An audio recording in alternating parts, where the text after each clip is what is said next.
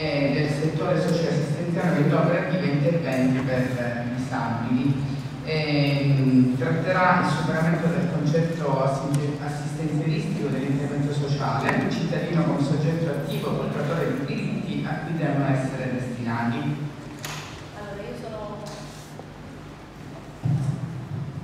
Io sono Ferrara Susanna, assistente sociale del Comune di Palermo, unità organizzativa interventi per disabili. Ehm, superamento della logica assistenziale ehm, presuppone fare un minimo di percorso storico. Allora, fino agli anni Ottanta una famiglia arrivava, un soggetto arrivava, aveva un problema, casa, lavoro economico e lo Stato erogava una prestazione soldi, in casa, all'interno della famiglia un bambino maltrattato, interveniva il comune, lo metteva in una casa famiglia. Quindi alla domanda sociale, alla richiesta da parte di un soggetto, lo Stato rispondeva con una prestazione. Questo nell'ambito sociale. Parallelamente questo succedeva anche nell'ambito sanitario.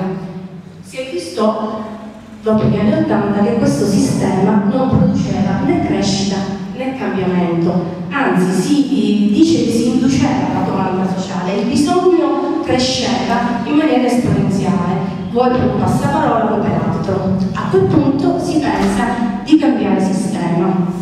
L'ente più vicino al cittadino è il comune, quindi voi immaginate tutto quello che il comune deve in qualche modo affrontare e nasce un sistema che da welfare state quindi lo Stato che risponde ai bisogni del cittadino per garantire i diritti sanciti dalla Costituzione, diventa un welfare mix, dove incomincia ad entrare in gioco il privato sociale, con un sistema molto spesso di convenzioni.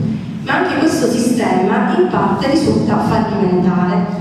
Nel 2000 arriva la legge 328. La legge 328 è una legge di grande, è una legge quadro, una legge nazionale, una legge che è di grande innovazione, perché per la prima volta vede non due monadi, l'ambito sociale, l'ambito sanitario, vede quello che eh, oggi chiameremo appunto integrazione sociosanitaria.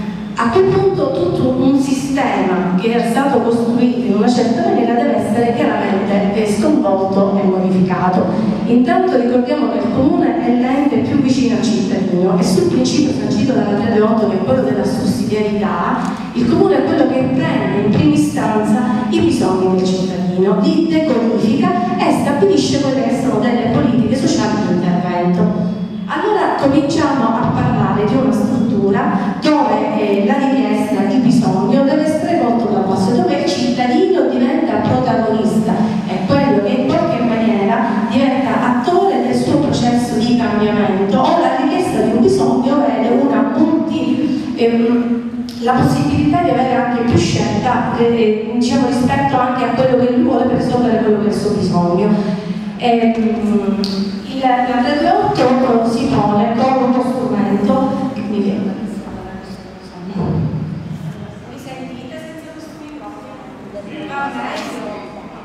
Allora,